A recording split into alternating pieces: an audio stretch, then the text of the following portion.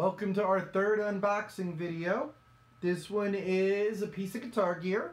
If you read the title, then you're already aware what it is. Um, if you're liking these unboxing videos, do me a favor, subscribe to the channel, like the video, ring the bell so we can let you know next time we're uploading a video. This time, we're going to be unboxing and demoing a pedal, the Behringer DR600 Digital Reverb. I have been looking for a reverb pedal for my board for a little while. And the trouble that I'm having is I run a stereo board. I only have a couple of pedals on it. I'm not huge into effects. Those of you that watch Morning Jams know I pretty much sound like me all the time. I'm not real big into effects. I just like having a couple to tailor my sound a little bit. But one that I really want is a reverb. You guys probably think I have one because I lay it in after I'm done recording in my DAW all the time. But I really don't have one on my board and I want one on my board. But I want to run it right at the end of the board. I want it as an always on effect. And since I run a true stereo board, I need a reverb with two inputs and two outputs or I need to run two separate reverbs. The problem with two separate reverbs is I want the reverb to be the same in both channels. I think it'll sound really silly if I have different reverbs going in the different speakers. So I want one with two inputs and two outputs so that I can run a stereo in, stereo out, and maintain everything that I have now. All of the pedals in that that meet that, all of the reverb pedals that have two inputs and two outputs are like 150 plus dollars. And I didn't want to go that much. Most of them are actually over 200. I think I saw one in the 150 range. And they're worth that money because they're programmable. I mean, if you're somebody that really uses reverb as an effect where you're changing it, where you're using different reverbs on different songs, where you're really utilizing the features of that pedal, those pedals are absolutely worth what they're charging for them. But I'm going to find one reverb setting I like. I'm going to turn the pedal on. And then I'm never going to touch it again. I don't want to spend $200 on that. So I did find two that were in a price range I was willing to pay, which was $50 or less. The two that I found were this one, the Behringer, and then Biyang makes one in the Baby Boom series. But I decided not to buy the pedal because it's part of that series. So that left my options with one, which is the Behringer DR600 Digital Reverb. So, um, uh, to be perfectly honest with you, I just, I like spring reverb. When you say reverb to me, I think spring reverb. When I was uh, coming up, all of the amps that I had, had spring reverb built into them. I, I grew to love the sound and it's really what I want. So I got the pedal, I got a couple of little things here. Um, I already went online and read the user's manual, so I'm not gonna, I don't have to read it again. I got one in Chinese, two in Chinese, oh, and one in English. So it does come with a little user's manual. So I did learn a couple of very interesting things from the user's manual. One of the interesting things that I learned was that this pedal, this is not an on-off switch. It is a bypass switch. When you plug into it, it turns on. And it stays on until you unplug from it. So unless you're, so if you're going to use a battery with this, you need to unplug your guitar when you're not playing. Um, I'm gonna use a battery for the demo, even though once it's on my pedal board, I'll be running through a power supply. I'm just trying to limit cables a little bit here. So uh, I am gonna show you on camera how to install a battery in one of these Behringer pedals because they're a little weird. Okay, so to install a battery in a Behringer pedal, any Behringer pedal pretty much, you're to need two things besides the pedal. The battery and a pen. The pen is for because Behringer pedals have what I consider a serious design flaw. See that little black dot right there? I gotta press in on that.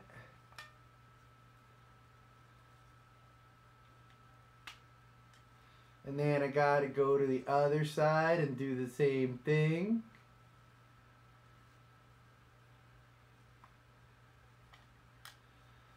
And then the whole thing comes off.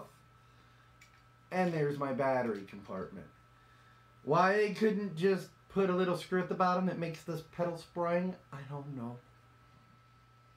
Maybe that's why I have four pedals on my board that do that and one pedal that does this. Then you got to put it back on.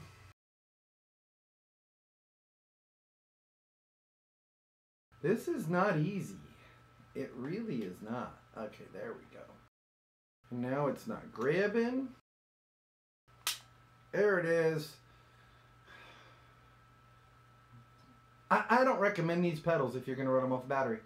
I really don't. It's just too hard to change the battery. That is a serious design flaw. Behringer, you need to fix that. You can put a battery here. You can put a battery here. You can put a little twisty thing there that unscrews that makes the pedal go boing. But this this nonsense, that's gotta go. That wow. And I'm I'm not bothered by it because I'm running it off power supply. But if you're using a battery, go with another brand. Seriously, don't mess with these if you're on a battery.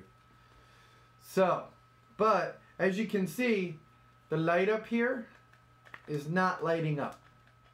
So, let me get her plugged in. And the way this is going to work, if you use headphones for this demonstration, it'll probably work a lot better for you. Because the way it's going to work is the left speaker is output and input A. And the right speaker is output and input B. Is and you can see the lights on now because I plugged in. If I unplug it goes out, if I plug in it comes on.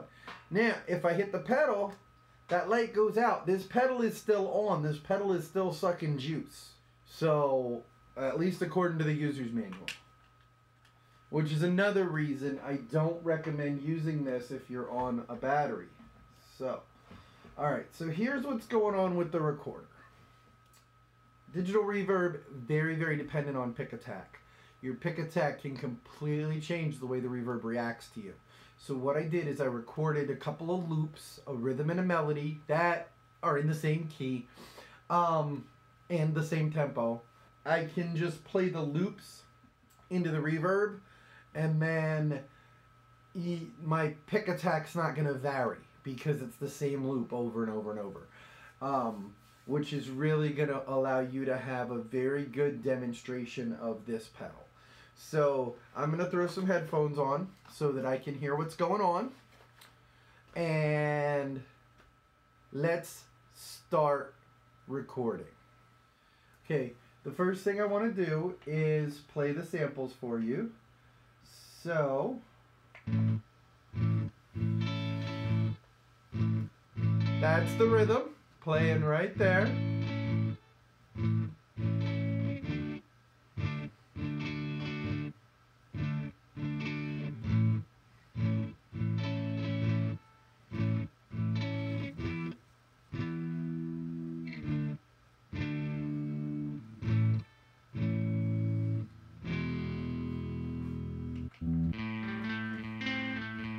That's the melody.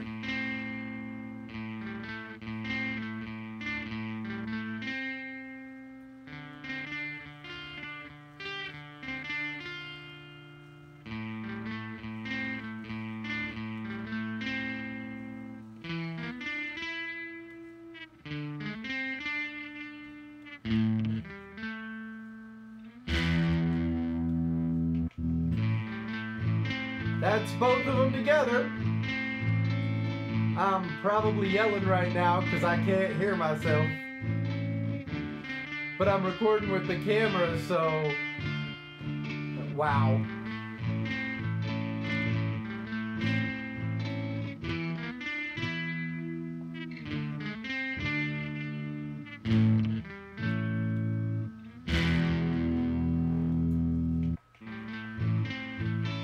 And here they are together,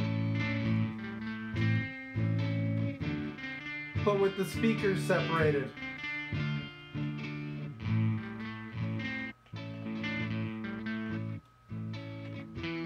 No, here they are together with the speakers separated. So this is probably what I'm going to use the most. But okay, so let's just play the melody. I'm going to kick the pedal on.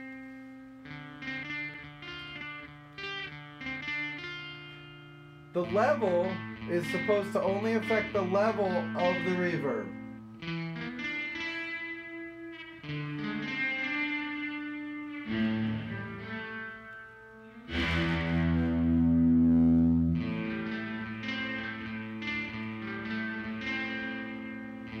Sounds like noon is right about a 50-50 mix.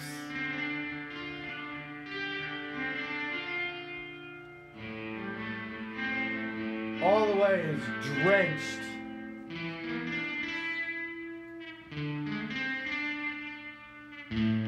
Tone.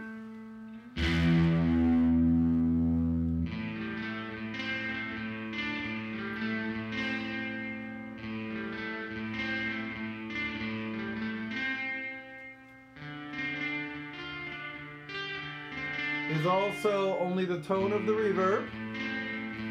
And noon is a roughly the same tone from the reverb as I get from the guitar. And by the way, I'm on the modulation setting right now.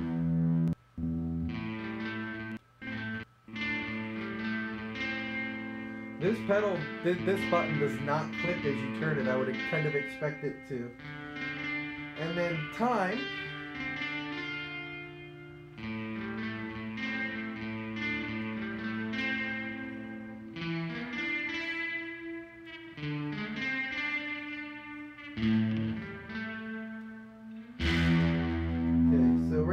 Everything except the level at noon.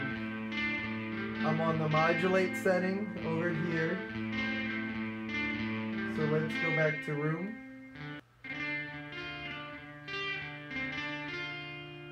This is the room setting.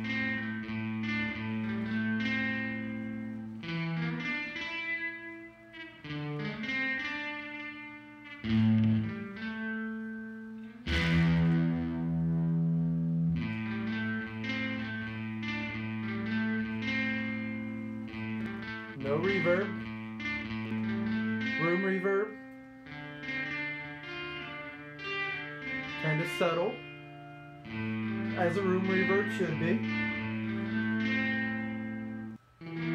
This is gate. A little more extreme. There's no way to control the gating on the reverb. It, it cuts off when it cuts off. That's all there is to it.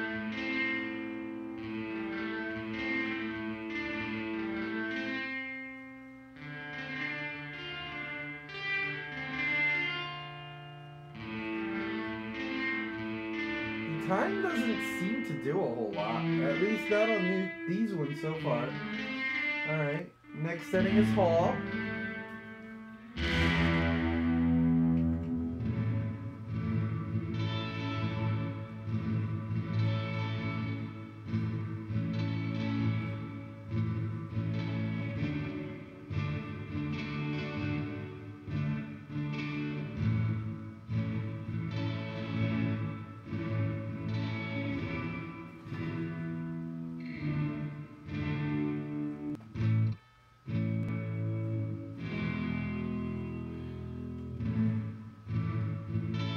The hall setting's very ambient. This is plate. I can hear the time working on this one. Oh, I can hear the level work on that one too. And now, the one I bought it for. So here's my sound with nothing.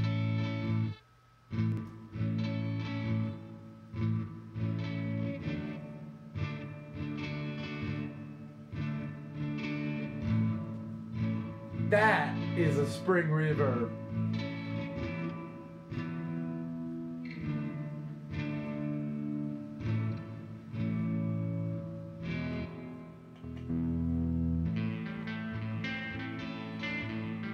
So as you can hear,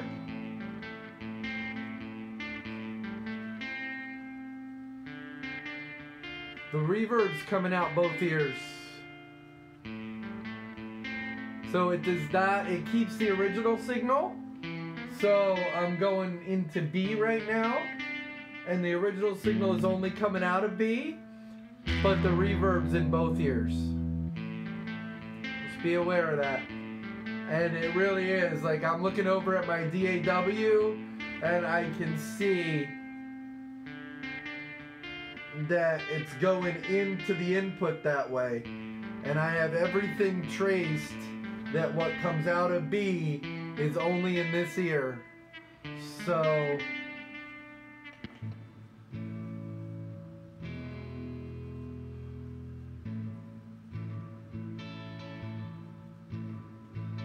A does the same thing. I'm curious if I unplug B what happens. Okay, when I you can use this to split your signal if you want to go from here to 2 amps or maybe use this to go stereo on your board because when I unplug B I get A's output in both channels.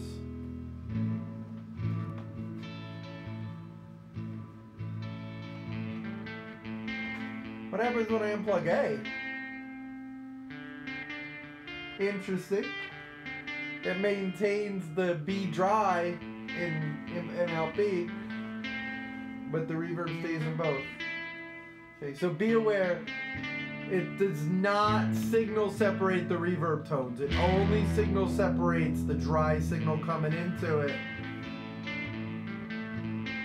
Um, I find that a little limiting but honestly, I paid 40 bucks for it. I am more than happy at the price point. Best price that I found was Musician's Friend. I will have an Amazon link in the description. Um, that could change by the time you're looking at it, but be aware, I found the best price on Musician's Friend. It was a full 10 bucks cheaper than Amazon. So, the other, the other thing that I'm not real fond of aside from the battery is the power is over here, which is fine. The way my board's set up, it'll work. But I'd really rather have it up in the top here. I just would. So, again, here's the sound dry. There's the spring. Plate, hall, room, gate, modulate.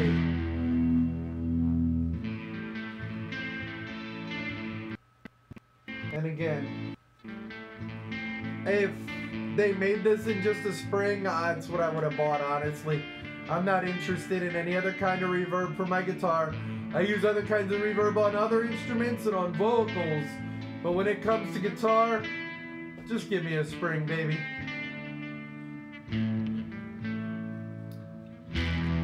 Hope you enjoyed the video. Don't forget to click like, subscribe, ring the bell. Hope you pick yourself up one. They're well worth the money and they're a good little pedal. They are a plastic enclosure. Personally, I don't care because I'm never going to step on it. I'm going to put it on my board. I'm going to turn it on. I'm going to forget it's there. And that's what you should do with Reverb too. Alright. Have a good day.